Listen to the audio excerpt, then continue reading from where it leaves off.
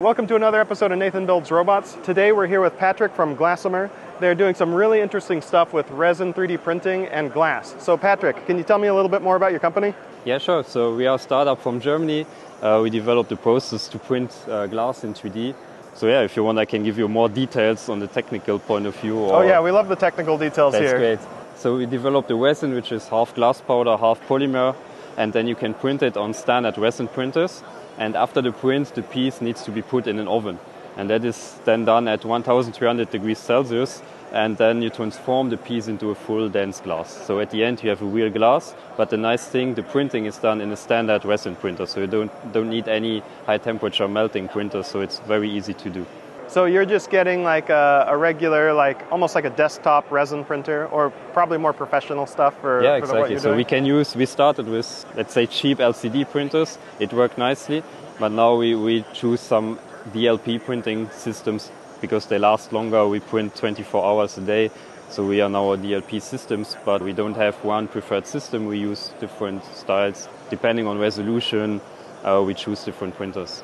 So you've got this fancy new resin that can do all these different things with glass. Um, what are some of the applications that you do uh, with your glass 3D printed parts? So one is jewelry. So that was unexpected for us, but you can print like real gemstones out of, of glass. Um, wow. You can print perfume bottles, crazy designs that you cannot do in standard glass making anymore.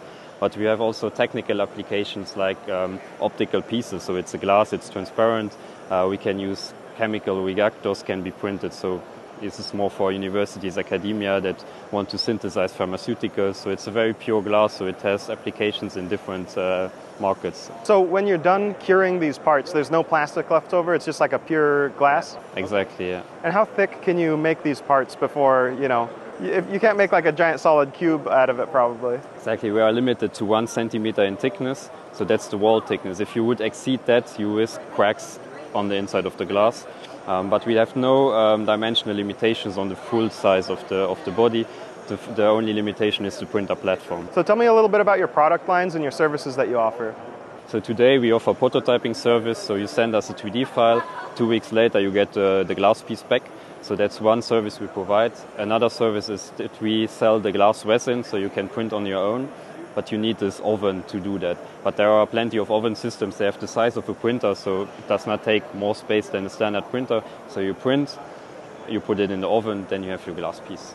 Now it's not so crazy big, so it's really um, it's like a desktop printer, but a desktop furnace. So okay. it's like uh, what dentists are using for for the teeth. So you just open um, a platform, you put your piece in, it closes, and then it 10 hours, then it does the sintering, opens again, you take the piece out. So it's very easy to do. It's not this high temperature melt that you go like for the glass blowers. It's nothing crazy. So it's really easy to use. Um, okay. So you can do it at home. Right. If you have the oven. What's some of your favorite applications for this technology? Like a project that you worked on, you're like, wow, this is really awesome. Yeah, so microfluidics, it's great.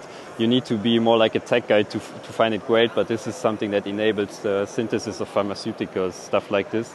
Also, biomedical applications. We were producing lenses for endoscopes, for example. This is very exciting because we produce new products with new features for an industry. Um, but other nice things we have done are like crazy shaped perfume bottles um, where designers have no limit and then we get a request, can you print that?